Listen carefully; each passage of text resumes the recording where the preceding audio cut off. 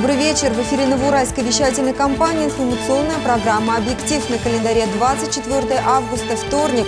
Студия Альбина Бабкова. Смотрите в этом выпуске новостей.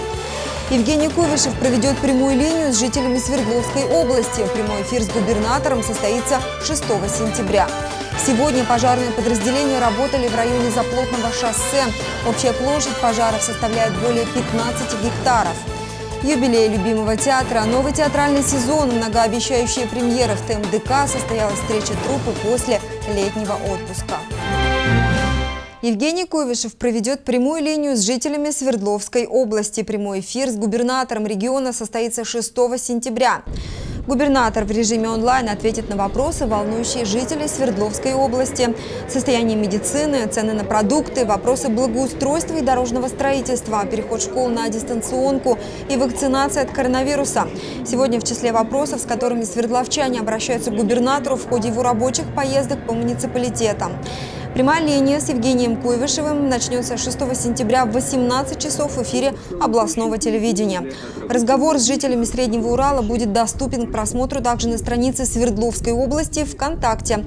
Отправить свое обращение можно уже сейчас по бесплатному номеру телефона 8 800 721 10 и на сайте куйвышев.рф. Оставить текстовые вопросы и прикрепить сопутствующие файлы до 30 мегабайт. Из-за аномально жаркой погоды обострилась ситуация с лесными пожарами. Сейчас пожарные подразделения работают в районе Заплотного шоссе. Общая площадь пожаров составляет более 15 гектаров. Пожар, растущий недалеко от карьера Заплотный камень, сейчас угрозы для населенных пунктов не представляет. Что там происходит сейчас, расскажет Виктор Малышев. Сразу отметим, что ситуация контролируемая. Специалистами выполняются все необходимые мероприятия для недопущения дальнейшего распространения пожара. Его очаг находится в северном направлении от города. Восходящий к небу столб дыма отчетливо видно со стороны Белореченской проходной. Добраться к месту можно только старыми, почти заросшими дорогами, а дальше пешком через густой лес. Это осложняет работу, но тем не менее тушение идет. Работают здесь на сегодняшний момент 48 человек в общей сложности. То есть они разбиты на несколько групп. Здесь работают две единицы крупной техники. Лес там очень тяжелый, места гористые. То есть это урочище называется Красные скалы, как я сам недавно узнал. То есть, соответственно, там э, спуски, подъемы. Лес очень плотный. Вы даже здесь видите, что, что по нему сейчас заходить Густой. очень сложно. Да. Пожар продолжается на площади примерно 15 гектар. Э, пожар имеет э, явно выраженную один из фронтов – его фронт составляет порядка двух километров. На сегодняшний момент осуществляется опашка периметра пожара. Опашку производим по возможным местам, поэтому она намного, несколько больше, чем сам пожар, но и с дополнительным запасом. Э, для недопущения распространения осуществляется окарауливание личным составом при помощи ранцевых огнетушителей. Сотрудникам МЧС помогают военные и добровольцы, среди которых Александр Бушманов. Узнав о том, что на ликвидацию лесного пожара необходимы дополнительные силы, он, не раздумывая, согласился, ведь лес – наше общее богатство. И, к сожалению, сейчас оно в опасности. Мы откликнулись, так как мы непосредственно в лесах, можно сказать, партизаним, занимаемся с детьми. Ну, это наша природа рядом город, жители города задыхаются от дыма. Решили помочь. Мы вот взяли ранцы, уже два раза сходили на гору. Ну, там опашка идет, и мы, чтобы опашка нормально дать продолжалась, время. дать время опахать, мы тушим очаги очагового сгорания. Опасности для города сейчас нет. Единственная трудность, если ветер изменит свое направление, то в городе вновь может появиться запах гари. Что касается причин пожара, то вариантов тут немного. Сухих гроз у нас не было. Соответственно, на 99% это человеческий фактор. То есть это человек. Соответственно, в эти места на шашлыки никто не ходит. Остаются либо грибники, либо ягодники. То есть кто-то сходил, чего-то бросил, не затушил, не посмотрел, не убедился, и все. Имеем то, что имеем. Помочь в тушении пожара может дождь и снижение температуры. Прогноз погоды в этом плане пока благоволит. Но главное сейчас не допустить других пожаров, главной причиной которых становится человек и его безалаберное отношение к окружающей среде. Специалисты еще раз обращаются к населению. Исключите посещение лесов. В ситуации сегодняшнего дня любое действие может привести к печальным последствиям. Виктор Малышев, Павел Сизов, Новоуральская вещательная компания. Губернатор Евгений Кувишев инициирует учреждение на уровне региона звания «Заслуженный учитель» Свердловской области.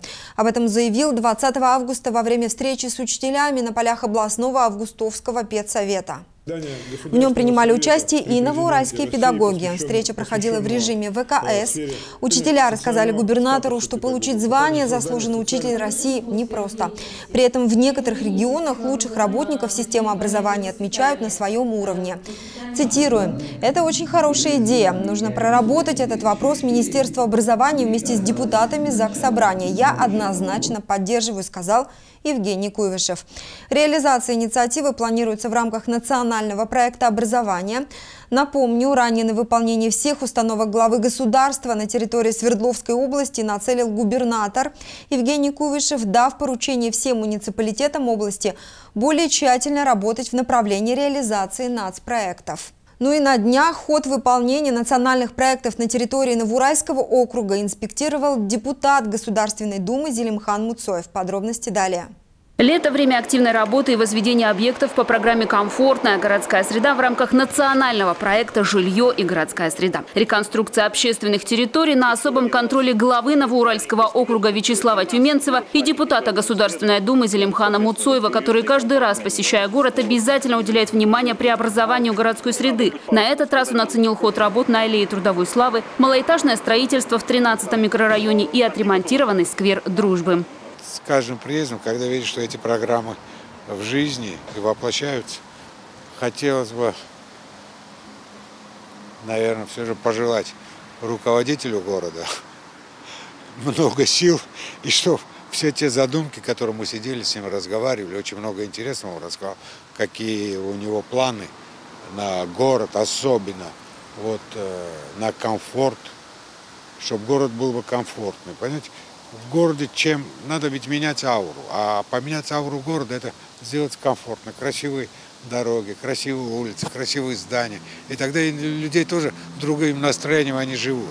Востребованное в Свердловской области малоэтажное строительство возводится и в Новоуральске. Застройщик «Инвестжилстрой». Возводит 41 дом нескольких типов в зависимости от метража здания. Оценил качество возводимых объектов и парламентарий. Представляете, вот здесь кровать стоит двухметровой на две спальни.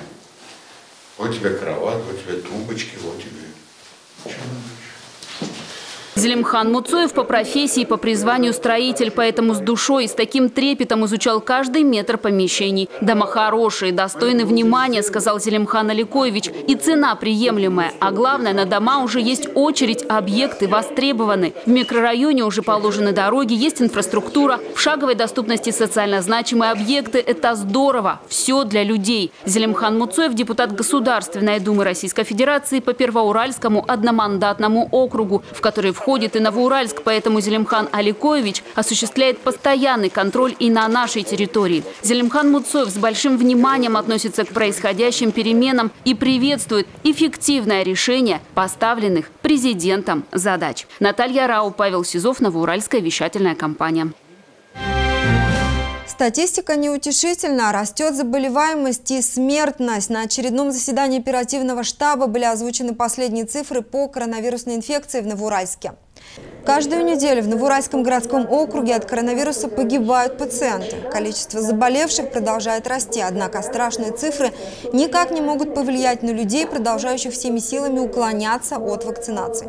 Чтобы обеспечить коллективный иммунитет в обществе, руководители городских предприятий договариваются с поликлиниками на определенные дни, когда сотрудники могут прийти вместе поставить прививки. Открыли мы дополнительный пункт э, снова в отделении переливания крови, вернее, в кабинете переливания крови. Первые дни там была, так сказать, немножко заминка. Сейчас они вышли на плановую мощность не менее 50 э, в день делают э, прививок. Причем получается так, что это наиболее успешно, наверное, действующий кабинет, потому что в первой поликлинике, в третьей поликлинике у нас начались проблемы который называется недоход. Это я объясняю тем, что в принципе э, у нас э, вакцинация сдерживалась не большим количеством вакцины, и период ожидания растягивался, и те люди, которые запи... должны сейчас идти на вакцинацию, они этой вакцинации ждали ну, где-то кто-то две недели, кто-то, может быть, и больше. Видимо, у людей изменились планы, и у нас начались определенные простои. Примером организованности и сознательности стали крупные сетевые магазины. В большинстве торговых точек уже привито более 60% сотрудников. Вакцина в городе есть. Более 3000 доз первого компонента и более 6000 второго. Основная вакцина – «Спутник Ви». Что касается учебного года, то начать его планируют в очном режиме. Пока по указанию всех вышестоящих министерств в очном режиме Пока продолжают действовать санитарные правила, введенные на период распространения коронавирусной инфекции. Их срок действия до 31 декабря 2021 года. И в соответствии с этими правилами, а также дополнительными письмами Министерства образования Свердловской области, в целях минимизации рисков осложнения эпидситуации, мы готовимся к учебному году с соблюдением ряда э, условий. Эти условия – проведение генеральных уборок перед открытием учебных учреждений, ежедневная термометрия всех учащихся и другие санитарные эпидемиологические правила, которые уже были введены в прошлом учебном году. А вот цифры дня. По данным Межрегионального управления номер 31 ФМБА России за последние сутки.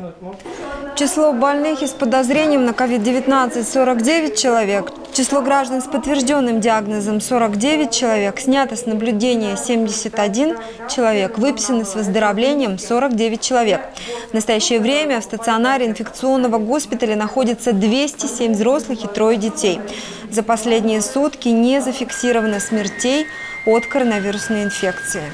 Свердловской области за 24 часа выявили 521 заболевшего COVID-19. За минувшие сутки в России коронавирус подхватили 18 833 человека. Всего с начала пандемии на территории страны было выявлено 6 миллионов 785 тысяч 374 случая заражения COVID-19. Вячеслав Тюменцев продолжает встречи с горожанами. Глава Новоуральского городского округа побывал уже в нескольких трудовых коллективах, а одна из последних встреч состоялась в городском совете ветеранов. Ветераны – люди неравнодушные к судьбе города и его жителей. Они прожили здесь всю свою сознательную жизнь, трудились на благо родного Новоуральска, растили детей и внуков. И, конечно, проблемы, которые существуют сегодня в городе, их очень волнуют. Перед тем, как ответить на вопросы ветеранов, Вячеслав Тюменцев кратко рассказал о своей биографии и опыте работы, в том числе в Министерстве промышленности и науки и Министерстве природных ресурсов и экологии Свердловской области. Глава округа говорил и о своей программе мэра, рассчитанной на пять лет. Так, одни из ее стратегических направлений – это развитие экономики, человеческого потенциала, улучшение инженерно-коммунальной инфраструктуры, совершенствование муниципального управления. Большинство вопросов, заданных главе, относились к сфере ЖКХ и касались самых разных ее аспектов – от работы управляющей компании «Новоуральская» и создания альтернативной УК до выкоса борщевика в сельских территориях, использования автомобильных шин для клумб, автобусных маршрутов и так далее. Мы вот встречались с ними, с перевозчиками, где-то две недели, три недели назад. Значит, я говорю, слушайте, сколько у вас автобусов? Они говорят, 42. Я говорю, сколько относительно новых? Они говорят, 10. Я говорю, а ничего, что 8 из этих 10 вам купил город. И мы что в ответ получаем? Хамство, что могут, извините меня, там не приехать и прочее все. Что у нас билеты в бумажках выдаются, это 19 век даже, а везде уже рассчитываются бесконтактно, да? Мы это, говорю, получаем, молчат, сидят. Я говорю, значит так, говорю, уважаемые товарищи, автобусы покупать вам больше не будем. Поднимаете билеты, покупайте автобусы. Это первый посыл. Второй посыл. Невыгодные тарифы загородные. Значит, мы вынуждены в следующем году пойти на регулируемый тариф по загородным маршрутам и выделить их в отдельный лот. Будем разыгрывать и будем наказывать, если не ездят. Дальше так продолжаться не может. Вопросы касались и цен на продукты. Говорили об острой нехватке кадров и необходимости повышать заработную плату. Как бы тяжело не было городу, как бы финансово тяжело, но начали с зарплаты. У меня в администрации текучка, просить меня 40%. 40%. В УКСе некому эти проекты просто делать. Хотели бы, да некому. Потому что заработная плата у нас даже не соответствует уже никаким нормам. Мы уже свалились дальше Невьянска. Поэтому сейчас очень значительная часть наших доходов пойдет на повышение зарплаты. Повышение зарплаты – это тоже сохранение и создание рабочих мест. Глава округа сделал акцент на вакцинации и рассказал о том, что режимные требования были усилены в связи с ковидом. Пока не будет привито 60% населения, они смягчены не будут. Ветераны также спрашивали, не планируют ли открывать город. Разговор идет опять об открытии города. Так оно или нет? Открытие не планируется. Не планируется. Я его точно инициировать не буду. Вот, я считаю, что, по крайней мере, это не самый главный вопрос в городе, который нужно решать. Вот, э, открытость и закрытость. И та риторика о том, что это принесет в городу еще плюсом рабочие места, там проезд, да, да ерунда. Встреча шла почти два с половиной часа, но и после ветераны не спешили расходиться и уже по завершению разговора долго не отпускали главу. Каждому хотелось поговорить на важные темы. По словам старшего поколения, люди соскучились по такому прямому общению с руководством города, когда есть возможность, глядя в глаза, задать вопрос и получить прямой и честный ответ. Так давно ждали эту встречу. Великолепно. Просто с нами еще никто так откровенно, так тепло с нами никто не общался. Интересная беседа прошла. Конечно, ну почаще надо. Мне понравилось, что наш глава задумался о зарплате наконец-то наших рабочих, дворников, своих сотрудников.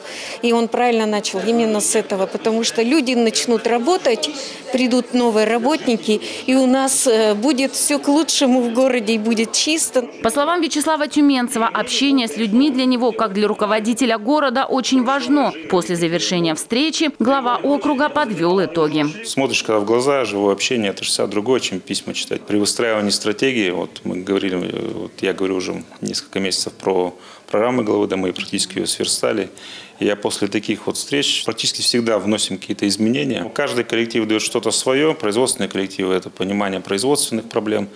А, встреча с пенсионерами и с нашими ветеранами – это понимание там, зачастую бытовых проблем. На встрече с ветеранами, располагающая к общению обстановка, позволила обсудить важные вопросы, в том числе неудобные и острые, а также поговорить по душам. Такое общение – это возможность напрямую узнать о том, что волнует горожан, принять меры, а мудрые советы ветеранов зачастую помогают в решении многих городских задач. Анна Акрамова, Павел Сизов, Новоуральская вещательная компания. Открытие 71-го театрального сезона запланировано на начало октября, но подготовка, конечно же, началась уже сейчас. На прошлой неделе в театре состоялась рабочая встреча всего коллектива.